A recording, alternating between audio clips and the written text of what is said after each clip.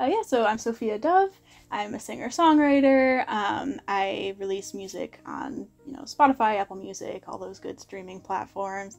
Um, and I've been making music since I was eight years old. Uh, and I like to write about my personal experiences and also just things that, um, you know, I go through and I don't hear in music a lot. So I like to write about things that I want to hear.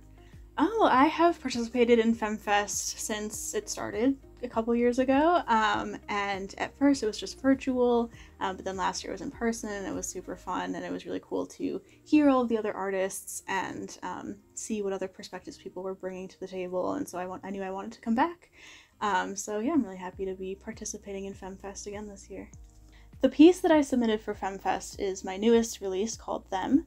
Uh, and I wrote it for my partner. I originally wrote it as a birthday gift, um, and because, like I was talking about, um, you know, I like to write music uh, that I want to hear, and um, I don't hear a lot of music about like non-binary relationships. So that so that made me realize like how deprived we are of like non-binary love songs, and I wanted to make something that represented that. So that's why I wrote them, and that's why I wanted to perform that at FemFest.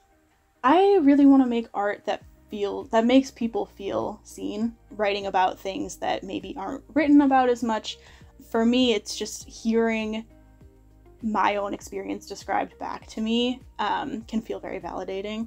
So I I want to be that for people. I, I think that you know maybe if I share enough of my experiences and I feel alone in them, uh, then if I put them out into the world, maybe someone else will feel that way as well, and we can be less alone together. Feminism um, is, I feel like, a loaded term for a lot of people, but for me, it's mostly just about giving a voice to people who don't have one or who have been silenced um, historically.